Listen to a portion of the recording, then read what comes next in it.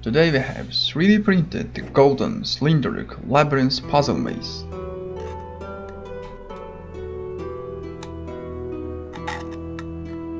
So you need to go from here to here.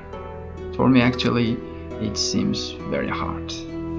However, let's try it.